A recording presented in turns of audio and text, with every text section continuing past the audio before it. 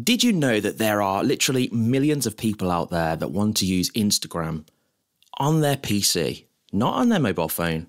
They don't want to use a tiny little screen. They want to do it on their PC or their Mac. And in this video, I'm going to show you how to do that. There's two ways to do this actually. One's free and one's paid. So why would I show you a paid way when you can do it free? Well, the free way is good. You can upload photos and you can do lots of things, but you can't do everything that you're used to doing on your mobile phone, like uploading videos and many other things. So I'm going to give you both options and you can make up your own mind. Let's start with the first way anyway. That's the free way. Let's jump in, I'll show you how to do it, and then you can make up your mind which way that you want to use. So here's the free way how to do this. Now, the first thing you need to know is you can use three different browsers to use the free method. First up, you've got to use Google Chrome or Microsoft Bing, or of course, if you're a Mac user, you can use Safari. And this method will work on these three browsers only. So, how do you do it? Well, first, go ahead and type in Instagram into your browser. Go ahead to the Instagram site and you will notice that you will need to log in at this point if you're not logged in already. So I am logged in, so I'm just going to click ahead to my profile here. Now, when you're on your profile, what you can do is you can get the mobile version of Instagram showing on your PC. If you're a little bit confused, just follow along with what I'm doing and it will all become apparent very soon. On the right hand side towards the top, you've got these three little dots. Click on them and then come down to more tools. Then come down once again, but this time to developer tools. Click on that. And then you're going to have this crazy box on the right hand side, which most of you will think, oh my God, what am I getting myself in for? Well, listen, don't worry, guys, because we're not going to pay attention to any of this right here, but we are going to pay the attention to the top bit here where it says toggle device toolbar. Now, what you want to do is click on this, and then you'll notice that it's now highlighted blue. Now, you may have noticed a little bit of a change here, but for the real change to take place, you've got to go ahead and now click the refresh button up the top. Refresh, and now look what happens. You now get the mobile version on your desktop. And you can see because you've got the options at the bottom here. You can now click on the plus sign. You can add photos from your computer on to your Instagram page. You can also go ahead onto different people's pages. You can comment, you can do other things. In fact, if you want a list of the things you can do, check the screen right now. Now, if you want to make a note of this, just pause it and then you can just take a screenshot of this so that you know what you're able to do on the free version. Okay, guys, so this is how to do it free. Remember, you can do this with Google Chrome, you can do it with Microsoft Bing, and finally, you can do it with Safari if you're a Mac user. Now, this way, you can obviously click on the plus sign to add photos, but you can't add videos. You can only do that with the paid version, which I'm going to show you in just a minute. But you can do lots of things. You can navigate around, you can like and comment on other people's posts if you want to, just like this. And then you can leave them a comment if you want to in there and type a comment. And you can also do other things like if you actually want to go ahead and you want to say post your own um, picture onto your own page, you can grab a picture I'm just going to grab this one here, press open, and you'll notice that when you've gone to upload a picture like this, it's going to show really strange. But don't worry, because you can fix this by coming up to these bunch of options at the top. Now, I recommend using responsive option until you get to the point where you upload your own photos. When you've done that and you can see your photo looking like this, go ahead, click the drop down, and then just choose any one of these mobile options. Just go ahead and choose iPhone X, it doesn't matter which one, and then you'll now see it display how it would do on your mobile phone. You can see how it's going to display on your profile when it's when it's actually uploaded, and then you can just flick to see what size you want it. Now, at this point, you can go ahead and add filters if you want to. I never do. I find they look a bit unrealistic, but you can add filters if you want. You can flip back to edit, and then you can go into next. And at this point, you can add in your description and your hashtags. You can also add in location and, of course, tag people as well. Now, when you've done this, go ahead, press share, and this will get shared onto your profile, and that's done. And that means that you can now upload to Instagram via your PC. Now, of course, this may be a little bit basic for some people who upload a lot of videos and things like that. And if that's you, then the paid way is probably going to be the right way. So check this out right now. If you want to do everything on your computer that you could do in your mobile, but just have the full screen and make life a lot easier rather than transferring photos backwards and forwards between your computer and phone, then the paid way is the way to go. The good news is it's only going to cost a few dollars or a few pound a month, so it's really not expensive. But the place you want to go to is Lately Social, social, sorry. And when you've typed this in, press enter, click on Lately Social, and then it will take you to the Lately Social website. Now, from this point, you can just go ahead and click sign up, or you can go to the pricing options. Now, pricing tells you what you will get for how much you pay. The free plan it shows on the left hand side, you can sign up for, but it only lasts around about a month, if I'm correct, and you'll get the option then to go on to some kind of paid plan. Now, for most people, the personal plan, which is $9 a month paid monthly, you can switch over to yearly and it gets cheaper.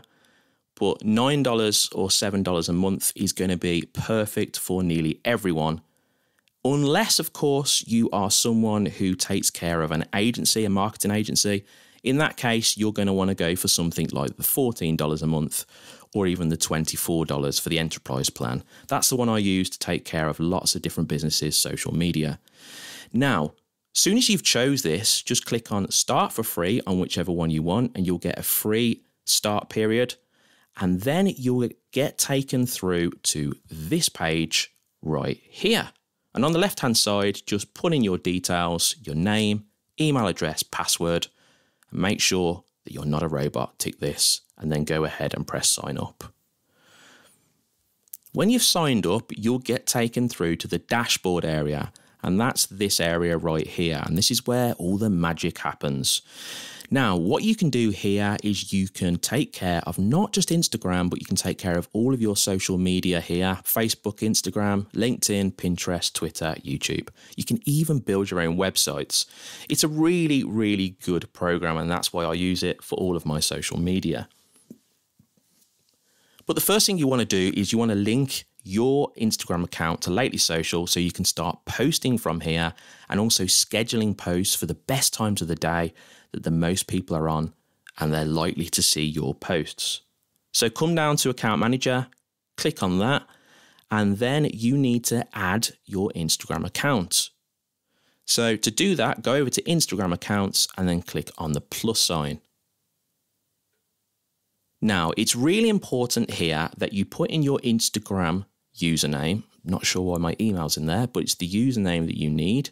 So type that in there put in your Instagram password. And then this is really important. You've got to make sure you get the verification code from Instagram via one of these methods. This is to tell Instagram that you're using this third party program to then send over your posts and handle the social media side of things. Now, if you don't do this, Instagram's just going to turn around and say that there's an issue or there's a problem, and then it won't log you in. So if you want to just see some more options, just click on this, where is my code being sent? And it says the verification code is sent by Instagram to your email or phone you use in your Instagram account settings. So you can change the email or phone of the Instagram app or on the Instagram website. And you've got the option to go ahead there to Instagram if you want to change it. If you already know what that is, though, you can just go along after doing this and then go ahead and press add account. Now, when you've added your account, it will show up here. And that means that your account is now added to Lately Social. Now let's go to Instagram here and then let's show you what you can do. Go on to post And then this is where you can post things like photos, videos, stories. You can post to IGTV. You can do multiple po- uh, multiple uh, photos, sorry, in one post, and you can then basically add this straight to your Instagram page, and it will go live. Otherwise, you can schedule it for a certain time of the day, which is best for your audience. So you just go ahead and press on this here to choose a file from your computer Let's grab this one of a trip I made.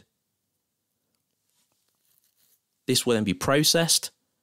You'll see it show up here and on the right hand side. Now, don't worry, it's not going to display like this. You just get this preview window. It will actually display exactly how your photo is displayed normally. So don't think that it's going to look like this on your profile. Then you can go ahead and add your caption then, of course, add in your hashtags. And when you've done that, you've got a few other things that you can do. You can either schedule this, click schedule, and by clicking schedule, you can go ahead and you can schedule this for a certain time to post. So you can choose a time from here, you can choose the date.